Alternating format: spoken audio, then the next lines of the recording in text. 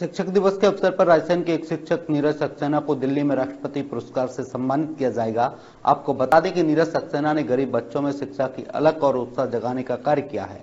इसके पहले उन्हें शिक्षा के उत्कृष्ट कार्य में इस्पात शिक्षक पुरस्कार मिल चुका है। आपको बता दें कि टीचर ने अपनी मेहनत लग्न निष्ठा और जज्बे के दम पर एक एक बच्चों को घर घर जाकर बुलाया और आज स्कूल प्राइवेट संस्था में काम नहीं है।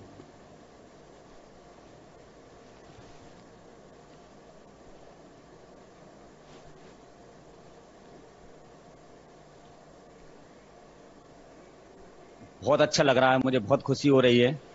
ये खुशी मेरी तो है, मेरे परिवार की और मेरे पूरे रायसेन ज़िले के लिए ये भी बहुत गौरव की बात है कि यहाँ से एक ऐसी जगह से एक टीचर, एक राष्ट्रपति पुरस्कार पा रहा है, जहाँ जाने का कोई रास्ता नहीं है, आज भी रास्ता नहीं है, आज भी हम संघर्ष कर रहे हैं वहाँ पहुँचने के लिए और वहाँ कोई टीचर पढ़ाना नहीं चाहता था। मेरी वहाँ पे पोस्टिंग हुई, मेरे परिवार के लोगों ने कहा कि ऐसी जगह पर आप कैसे पढ़ा पाओगे, लेकिन मैंने कहा कि मैं पढ़ाऊँगा, वहाँ के लोगों की स्थिति देखी, समझी, जानी।